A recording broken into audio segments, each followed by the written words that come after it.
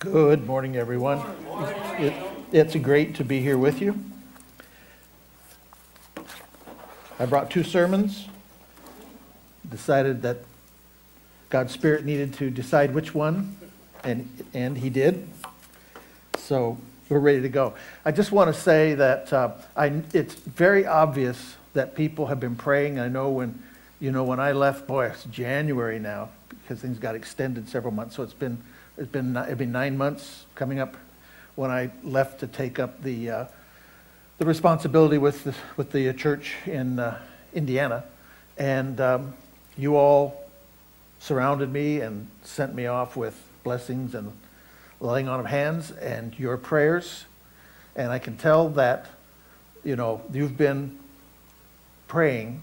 Off, I'm sure, obviously, not every time you pray, but it's, it's been on your minds enough that it's very evident in the results. They are, they are beyond what would naturally, even, when, even the natural course of things going well.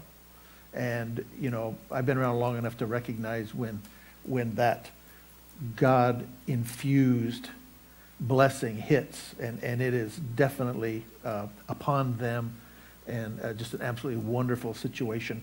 Um, they have a lot yet to do and uh, they will do it without me. I'm sure they will succeed. And Mark uh, Vincent will remain, and uh, other people come along behind and uh, fulfill the process. But uh, that same, you, do you remember when, when in, now some of you weren't here, but some of the, a few, um, about half were, when we were working through kind of the who are we as a church, do you remember that time when it just kind of, like it fell from heaven and just boing, and, and it was clear?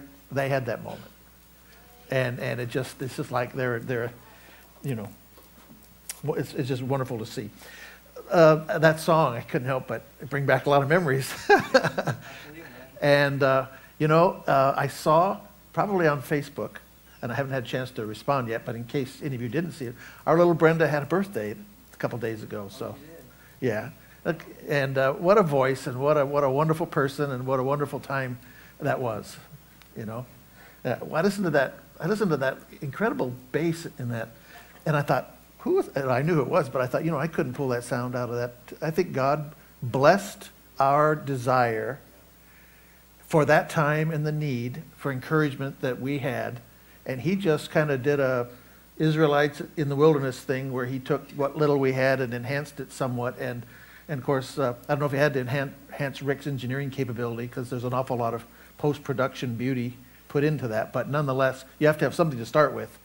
And, and God certainly just, uh, you know, I listened to that and, and, uh, and it's, uh, it's just, I couldn't do that. Couldn't just walk up and do that any old time that, that way and that well, that effectively. So God's hands are in everything. Okay, folks, sometimes, actually, off and on throughout the history of our history as the body of Jesus Christ, um, we have been hijacked by the world. And the number of ways is diverse and numerous. And hence, you know, we even have, if, if you say, well, what do you mean? And how can you say that? Well, I'm not saying it. Jesus Christ says it. And if you want to, I don't have time to do it, but if you want to take a tour to see just how many ways, just take a tour through the, through the messages from the angel, through the Holy Spirit to the seven churches which are, in some ways, they're historical, actual congregations. In another way, they are a composite of the body of Christ throughout time. And you'll find as you go through, every last one of them, you know, even the one that's supposed to not have any problems, he was pointing out problems. And in quite a few of them, he was saying, look, you have been hoodwinked, sidetracked, hijacked, uh, uh, uh, co opted, deceived by the world in this way. Sometimes it was you've, you've, you've adopted beliefs that are contrary to me. You've accepted the doctrines of the Nicolaitans. And we get all weirded out trying to figure out who the Nicolaitans so we can legalistically figure out that belief and be sure we don't believe that. Well, that kind of misses the point. okay? And then you get like to the Thyatiras and he says, look guys, you, you guys are in bed with Jezebel. You're cohabiting with somebody else. You know, I'm your spouse and you're cohabiting with someone else. That's pretty serious. That's a pretty serious level of deceit and or self-deceit or co-opt, etc. Well, this, this message I've talked about off and on in, in the last few times I've been here that it's an important issue, and that's the issue of judgment. I said we needed a sermon on it. Well, today's the day. I, may, I think I even talked about it in an expanded form, but this is a thought through uh, scriptural uh, uh, an, uh, inspection of the, of the issue. Okay? One of, the, one of the things you'll see out on the internet today that's kind of, to me, a poster for this kind of thing is you'll see this don't judge others. This is a big slogan. Don't judge others who sin differently than you do. That's all over the internet. I mean, people have borrowed it and shared it and stuck it on their Facebook page, and you know, it's, it's everywhere. Don't judge others who sin differently than you do. This sermon was really catalyzed into more than an interest and a, and a hmm. It was catalyzed into this is something we've got to grapple with, actually, by uh, children of mine who remain unnamed, who in discussions would say, Dad, you're being judgmental. And I'd scratch my head and I'd think, I think I'm naming a sin. I don't mean to be judgmental. I don't mean to be condemning a person, but I am naming a sin. Dad, you're judging them. Okay, well, how am I judging them? Uh, what I, should I pretend? What, what, do you want me to do, you know? And I began to realize, of course, it wasn't just my offspring, that just was the one conversation that catalyzed it, that, uh, that especially our younger generation, and by that I don't mean school kids, I mean 40s and under, are infected with this idea that we must not judge one another. Or we must, and therefore we must not be judge, the, the noun form of that, the chronic form, judgmental. We must not have a mind that, of judging. Okay? Now, uh, when we speak of someone who's judging others all the time, we refer to them as judgmental. And in, but in, in modern English, in our, in our usage, the word judgmental is not a neutral term, is it? It's, it's a major, it's a majorly detrimental term. You are bad, you're, you're wrong if you're judgmental in this society. Uh, it contains a heavy, a negative bias. So, but, but you know what's interesting is one can say, it's true, that this bias is supported directly from Scripture. People who know the Bible, who also, like my offspring, who would say, Dad, you're being judgmental, would quote the scripture to me, don't judge others. The Bible says, judge not that you be not judged.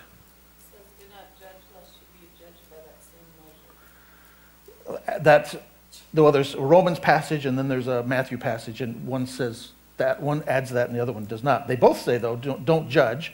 Uh, you too will be judged, the Matthew passage you quoted, for in the same way you judge others, you will be judged, and with the measure you use, it will be measured to you.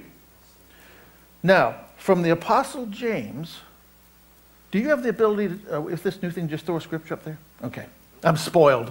I'm, uh no, we did, but not now. I, I started doing thing, everything like we used to, putting it on a stick and all. They said, don't put it on a stick, just give us your notes and whew, it's up there. And, okay, well, so I'll read it too. In, in, the, in the book of James, chapter 4, beginning in verse 11, we find another scripture that essentially says the same thing.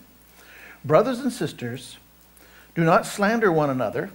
Now, the assumption, at least in, in, in, when that term is used in this way, is that that judgmental, being judgmental, is a putting down. It is a form of slander. It is a criticism. It's an, it is an un, uh, unwarranted, unauthorized criticism.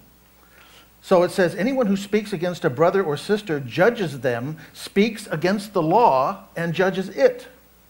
When you judge the law, you are not keeping it, but sitting in judgment of it. That's verse 11. If we had this up here, I'd ask you to read verse 12 together with me, which says, There is only one lawgiver and judge. There's only one. The one who is able to save and to destroy.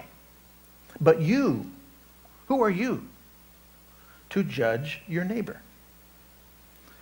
Now, that's pretty hardcore and pretty plain that we're not to be judging our brother or our sister. it really gives a, a, a large kind of uh, support, uh, you know, framework to this idea of don't judge others who sin differently than you do. And it kind of leaves the door open for whatever my sin is, we all sin. It's different from your sin. And therefore, the assumption can very easily be that one sin cancels out another sin, and therefore none of us can talk about either of them. That's the assumption. I got this sin, so I can't judge you. I mean, I see you've got this sin, and I would want to name that and say, you shouldn't be doing this, but I've got this sin, so I can't name your sin because I have a sin, and you can't name mine because. And so what happens? Nothing gets fixed. Yes. And what happens, okay, now I'll give you a little bit of head start where, where my concern is as we get further, as we get toward the conclusion. Okay, if the world who is full of sin does that to one another, it's not helpful. Nobody's, nobody's being helped to grow, but at least, you know, it's, it's in the area, it's in the, it's in the uh, segment of society that's already blinded. But when the body of Christ that is put there to be salt and light goes silent, and invisible, what is its worth? Nothing. Right. Okay. So our understanding of this issue must grow out of a heart that is committed to our Father in heaven. And Matthew 7, what we just read, is a key to understanding if we're to have the Lord's heart. Now, the problem of judging, okay? Jesus in this passage in Matthew 7 is not referring to a courtroom setting. He's referring to a uh, relational setting. He's referring to a family setting, a church setting, a community setting where people are basically peers and where the, where the conversation turns toward uh, judge, judgmental, uh, takes a judgmental uh, uh, direction. He is talking about that. A courtroom, let's talk about a courtroom for a moment, though, because it's a very good basis for our understanding. The courtroom is about discerning good from evil, isn't it? It's about discerning right from wrong, fact from fiction. Uh, the courtroom is not talking, or Jesus is not talking about that. He's talking about the hasty, unloving, holier than thou, self righteous, uh, and by the way, this is at the very heart of gossip and uh, tale bearing and this kind of thing. Uh, and you saw, you see, when you see the, the setting Jesus had around him, he was talking to people who loved to follow him around and judge who he ate with, judge who he spoke to, judge who he let worship him in the manner in which they let worship him, judged whether his disciples adequately washed their hands before dinner. I mean, you're getting, we're getting pretty pretty, you know, and leaping to conclusions which were condemning in nature. That was the setting he was, he was talking about. He was not talking about the situation in a courtroom. And where, when we're in a courtroom, it's interesting that our own human system has captured, at least in principle, has captured this differentiation. You have, in a, in a full trial, as our, as our system allows for, you have two components, right? You have a judge sitting on the bench, and you have over in the box a jury made up of peers, jury of peers. Okay? And they have two totally different, uh, two totally different roles in a jury trial. Now, sometimes it's waived and certain kinds of things the judge does both, but bear with me for the sake of this analogy. The jury's job is to hear the facts as they are presented by the, by the prosecution and by the defense. And when all has been heard and reviewed and rebutted back and forth until it's everybody rests, the jury goes into a, their private room and what do they do? Deliberate. And what do they come out with? They decide. They come out with a verdict, which is a decision of guilt or innocent based on the facts. They don't condemn the prisoner or the, the, the defendant. They assess and render a decision based on assessment. The judge, on the other hand, takes the verdict in hand and proceeds to, we even use the word, the prisoner or the, the, the so-and-so was condemned to life in prison or was condemned to serve so many years hard labor, right? That word isn't as used as much as, as it used to be. It used to be the, the term for the judge passing sentence. And so, in, in terms of judging, there are, there are two different distinct types of judging. And what we're focusing on right now is the condemning where it is not authorized, okay?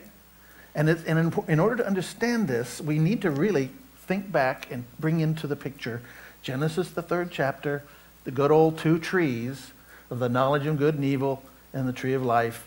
And people were told, don't take of these trees. The serpent did his job. Eve took of the tree and ate the fruit. So did Adam. And the whole thing behind this, the whole thing behind our being lost and the whole plan of redemption that, that we worship and remember every time we gather is to restore this brokenness. And what was at the heart and the core of that brokenness? It was that what came into us and as a, as a, as a, as a creation uh, and has stayed through Adam and Eve right on down to us and our children is a, if left to ourselves, we will take the final right of judgment, of, of determining what is right or what is wrong unto ourselves. And in this country, God bless us and bless all, thank you for all the incredible blessings. But one of the things that we have done that's part of our heritage is to take that and amplify it clear out into outer space. And our individuality and our rights, and we'll fight for our rights. And you have no right to tell me that. And I, rights this, rights that, rights the other thing. We worship our rights. And that's great in many ways because it protects our freedom. But in this particular way, it can cause us to be like one of the situations of the churches in Revelation 3 and be co opted right into a very dangerous uh, frame of mind and course of action. Okay? When, and so the sin is when we are judging others in the role of that judge sitting on the bench, what we are saying, even though we would deny it to high heaven because it's not conscious, it's, it's underneath. And when it's brought, when, when somebody would say this to you, you'd say, no living way. But what's really happening when we are engaging in this kind of judgment is that we are in assuming for ourselves and the other person that we have the mind of Jesus Christ in saying what we're saying. And they don't. So we are taking unto ourselves not only, not only our right to decide, but we are saying in judging someone else in this way, Jesus said, do not do. We are stepping into the place of Jesus Christ when we're not authorized to do that. And that is the problem of judging. And it is so onerous and it takes place so much that, yes, we, we ourselves grew up, you know, being very against this kind of behavior. And our younger generation, it seems to be amplified. And so there is, a, there is something that's even greater than the Constitution that says, you're judging. Uh, it's so funny. I was listening to National Public Radio shortly after I was began putting these points together. I was driving down the road, and here was a there was a talk show. It was in the evening, and it and I don't even know what it was about, but the the woman just started out. She said, "Okay," she said, "Here we are." And of course, NPR radio is, is extremely liberal and extremely inclusive, and you know, open and would never judge. this woman starts out and says, "Okay."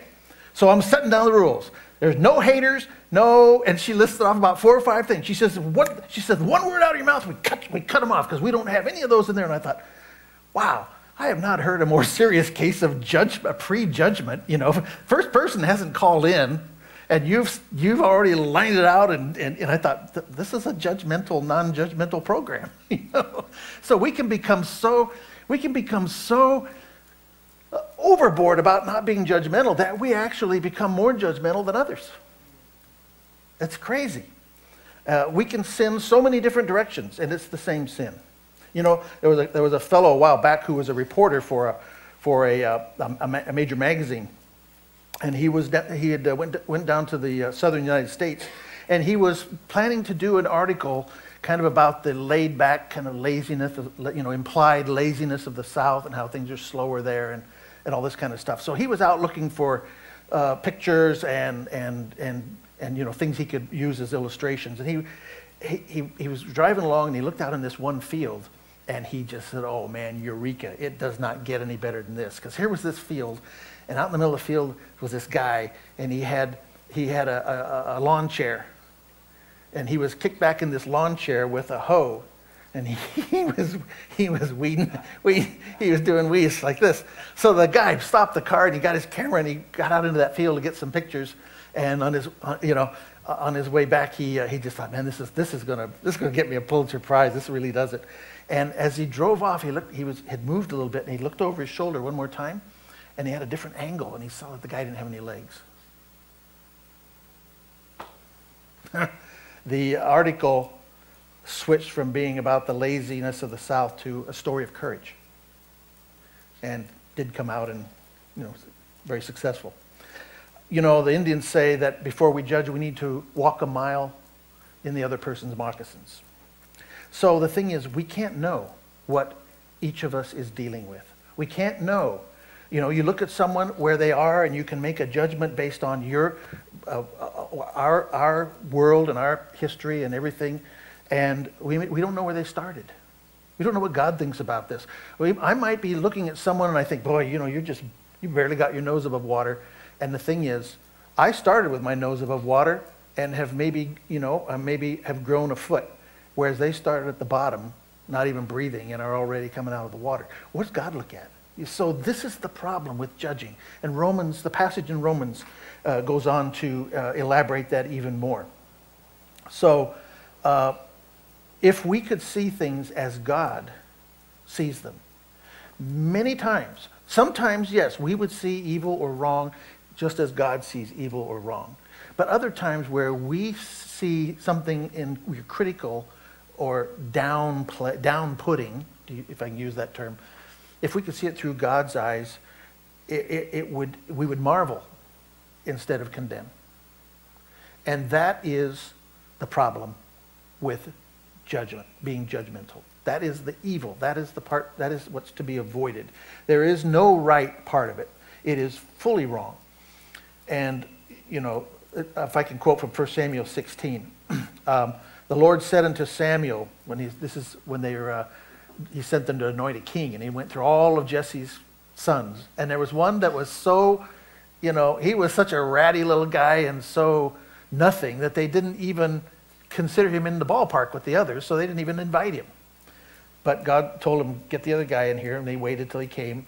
And then God said to Samuel, do not consider his appearances or his height, speaking of the other guys, for I have rejected him. The Lord does not look at things as people look. People look at the outward appearance, but the Lord looks at the heart. And the problem is the Lord has not given me or you the vision into one another's heart as deeply as it needs to be to always be accurate. And so we can make, we can, and we can do great damage with our, with our tongues uh, and our behavior when we assume and take the authority of Jesus Christ in assuming that we can. Okay? Uh, continuing with Jesus' teaching in Matthew 7. Now he talks about the, the specks and the planks.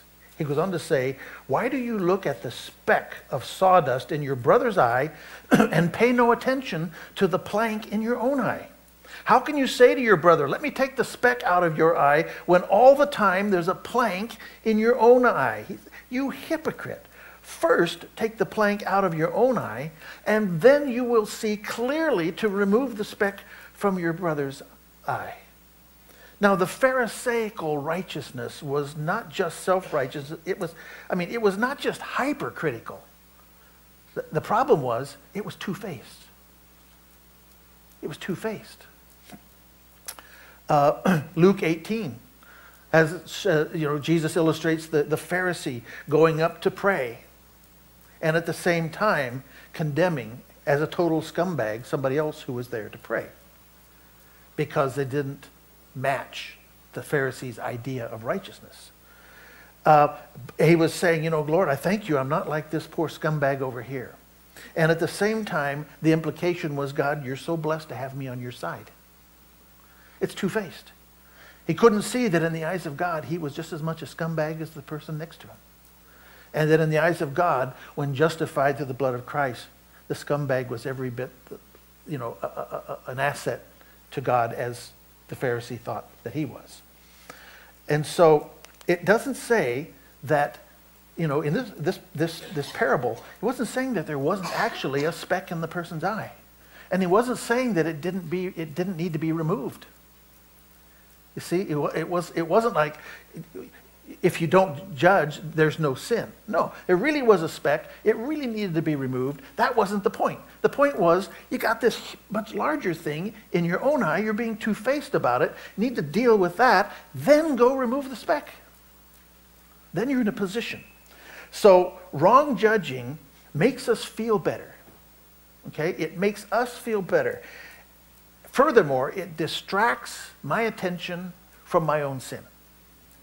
That's kind of what, was, what, what Jesus is, is, is saying here. If I, if I can see your speck, I can distract myself to where I can't even see my plank. And that's the wrong kind of judging. And, and, if, and if I focus on your sin, I will even find myself ignoring that over which I do have control in my own life. And I'll use your sin as a justification not to repent of my own or not to grow in some area. You know, uh, the, the, the year, but, but we have to watch out because if we do not, if we don't exercise the other kind, you know, if, if we don't, um, let me just make sure. I think I had a, a particular thing I wanted to include here. Yeah. So the thing is that we have to now switch gears is that just as this is a, there's a mortal danger in, in wrong judging, there is a mortal danger in not judging. And that's the part that I feel like our younger generation has missed. It's been co opted. We've been hijacked, uh, brainwashed to thinking that there's only, that judging is judging is judging. It's all this kind that we don't, we shouldn't be doing is sin. We're condemning, we've talked about. And that, that's all there is. If you're judging at all, that's what you're doing. And that's the dangerous, equally sinful thought. And we have to help somehow our young people process this. If we do not judge, we're in line to have a lobotomy. May as well have one. You're judging, you know, if, if that's wrong as an act, as I said, it cancels everything out and therefore everything's okay. Don't judge others who sin differently than you do. So, what we've done is gone from a harsh, critical spirit, which is wrong, to the opposite extreme, which is permissiveness and is a key accelerator. And here I go, I'm on my soapbox again about what happens when a society loses sight of God and the ability to come, come back to God. But this is a key accelerator in that process. It's a key accelerator that, and, and, and actually causes us to begin to lose knowledge of God and its consequences when we just cancel everything out so you can't think about it because you're judging if you do. Here's Jesus' concluding teaching on this subject, and it's fascinating because Jesus himself sees this and switches gears. A lot of people think this isn't connected to what we read before, but it's part of the same parable, same passage. It's just the next verse. And Jesus is giving the other side. His concluding teaching says, Do not give dogs what is sacred, and do not throw your pearls to pigs. If you do, they may trample them under their feet and turn and tear you to pieces. Now, we all know that. It's not very familiar. We cite that. We, and we cite it as reasons why we don't do something or do do something. And we're very, we're very good about that. But, how do, but have we ever connected that to this whole issue of judgment discerning? Jesus doesn't end his discussion of judging with the command, judge not. He goes on to say, don't give, don't, don't do this other. And it requires some kind of criteria, right?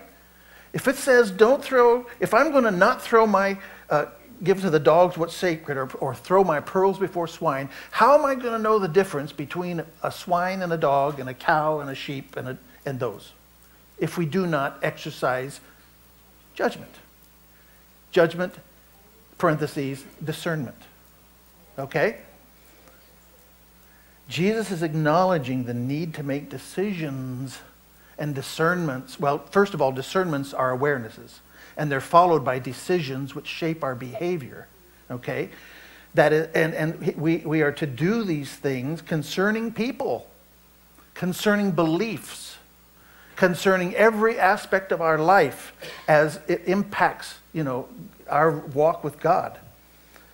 Every behavior that is detrimental to our Christian lives, he is not condemning all judging. In fact, he demands that we make judgments. In fact, you go on to John, uh, the seventh chapter, verse 24, he says, Stop judging. Now, I see the, the, that, that national public program would say that's, that's just full stop right there. But that's not what it says. It says, Stop judging by mere appearances. Okay? But instead, don't judge? No. It says instead, judge correctly. What is correctly? Seek him first for guidance. Correctly is using the standards and the criteria of Jesus Christ himself while ourselves being in a position of humility where we are not usurping that right. We're recognizing that that we are not that, but we're using that as so so that pre, that prevents us from switching over into the condemning mode because we, we start from the point that we too are sinners. So we're not, ju- we're not condemning judging, but we are discerning. And that's what I tried to get across to my, to my daughter.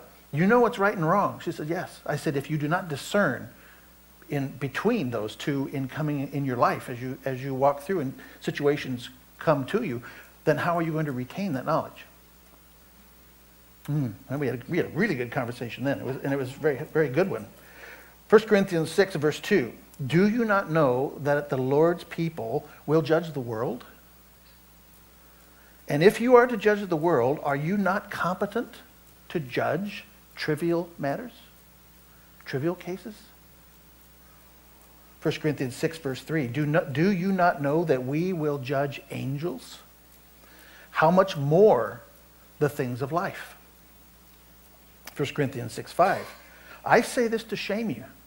Is it possible that there is nobody among you wise enough to judge a dispute between believers? The only way that we can retain the knowledge of God in a sinful world is if we are constantly and vigilantly discerning and judging between right and wrong. Right? There even comes a situation where we are told to judge matters within the church and if necessary, exclude someone based on their behavior. But we are never authorized to look at that person, whether it's a brother or sister in the church who might be under discipline, or whether it is someone in the world. We are never authorized to look at that person as worthless or as being outside God's grace. And that is the key. And we can only we can only maintain that position of being on our knees with our hands up, ready to receive and then offer, if we are, if we recognize, on the one hand, our, the difference between God and us. And our, uh, that's, where the, that's where the humility comes from. And then the confidence comes from recognizing what He is making us. But it's only from that position that we can do this consistently and do it correctly. So, in this crazy world of don't judge others who sin differently from you, we have to avoid the self righteous, we have to avoid the critical, but we do not overlook sin. Jesus never did. Sin is always sin, and we are always ready to extend the grace of Jesus Christ to the sinner. The conclusion, I'd like to just take us back to the woman taken in adultery. She refused to look down. You know, she, she, she was brought in there as already, you know, guilt was already proven, so to speak. And they brought her in to be condemned by, uh, under the law. And Jesus, being the rabbi, was the one that they, was all a setup, but that's what their, the expectation was, that he would exercise the law and condemn her. Instead, he didn't, did he? He refused to look down on her. The thing is, he refused to treat her as a thing.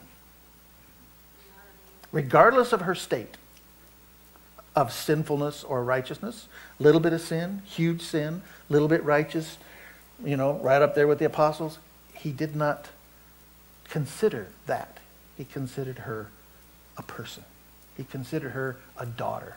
He considered her someone he loved and would give his life for. And from that starting point, he then made the mob or, and the leaders thereof consider their own sin. And one by one, they disappeared. And then he had the woman face her sin. He didn't say it doesn't matter. He didn't say, oh, well, it's not really sin, you know, it's, or, uh, well, I, you know, I came so you don't need to worry. I came and I'm going to give my life so you don't need to worry about it. He didn't do any of those things. He made her face it. And he forgave her. Just that, just that simple. That is a really good way for us to approach it. You know, Jesus challenged her to stop, uh, stop sinning. And Jesus will do the same thing for us this morning and any day in our own lives. If we come to him, he will not condemn. If there are others, you know, against us, he will work with them in his own way and time to consider, consider their own sins. He will cause us to face our sin, and then he will forgive and, if necessary, restore. And that's the way that, you know, Jesus works, it doesn't he? And is that not the way that we should, in our following him, that we should work? So when it comes to judgment, we never sit, we never climb up into the bench of the bench of the judge. We're constantly a member of the jury. And when we run into it, we never treat that which is wrong or the people in that, if it's a class we're talking about, like some class of behavior in society, we never denigrate or, or, or in the way that we talk about them or think about them, we do not make them things. Because that's just, that's just ignoring the problem. But rather, we always treat them as beloved people of, Jesus, you know, of God's children. And if possible, we help them face and then we forgive and restore.